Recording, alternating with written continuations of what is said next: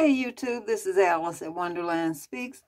I am doing my daily keto weigh-in and it is day day number 8. Hey YouTube, this is Alice at Wonderland Speaks and I'm attempting to food prep keto style. And I'll tell you something, I can't speak for anybody else, but this is a lot of work.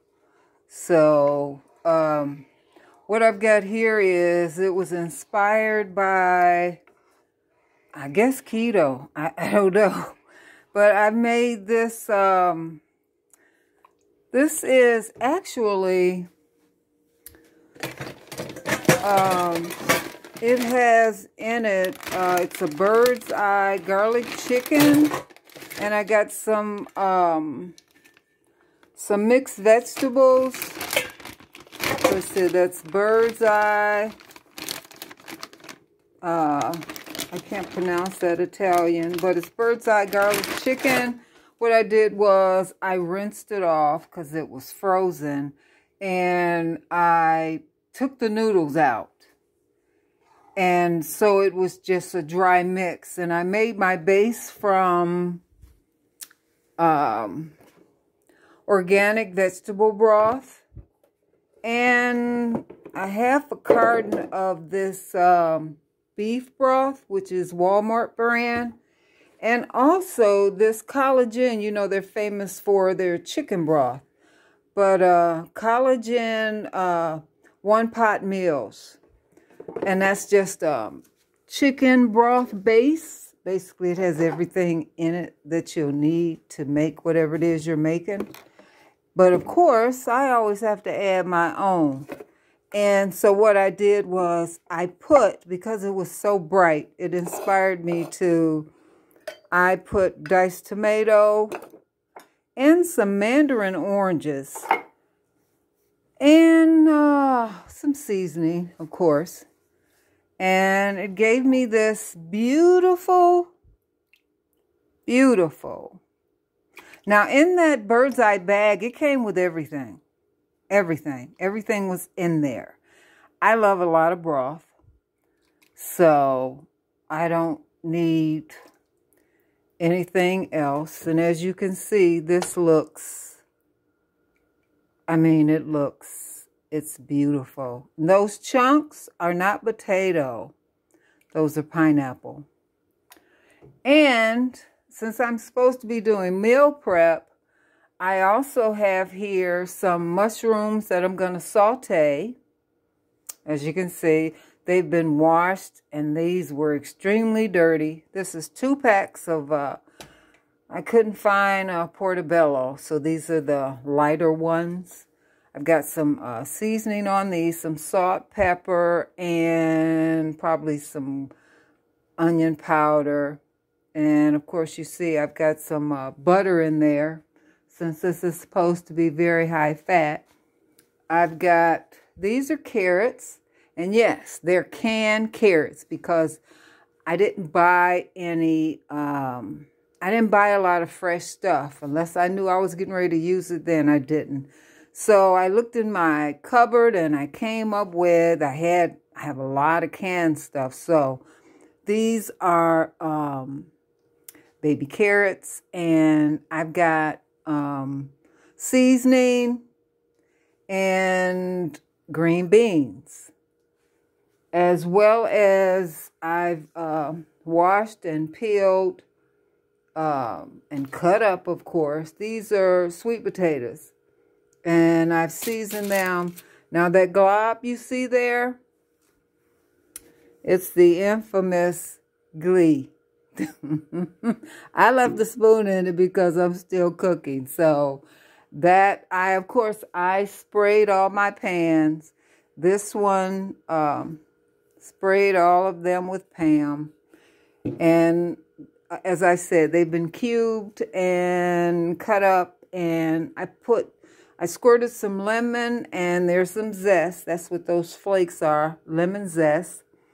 And uh, There's parsley and what else? Salt, pepper, I think. Oh, and I put a little bit of honey. That's what's on this spoon.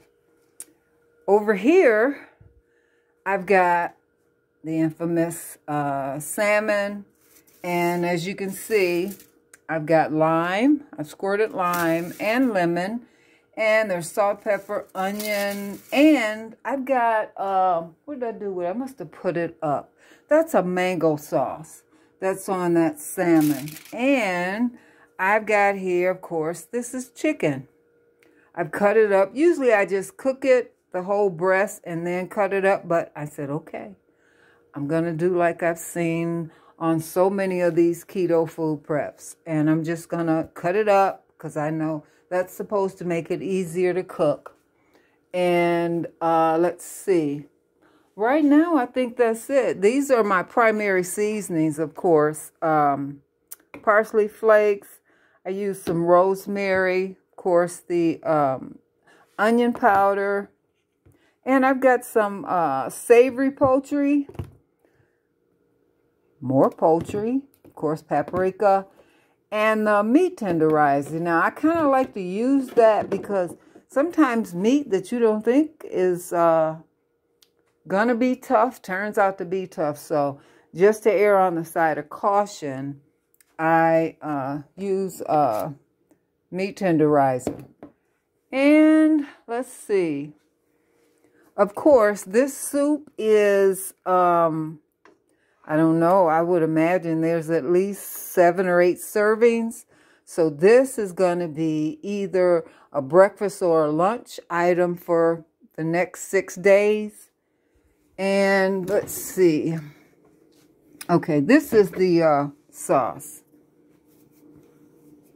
This is Bitten Creamy Mango.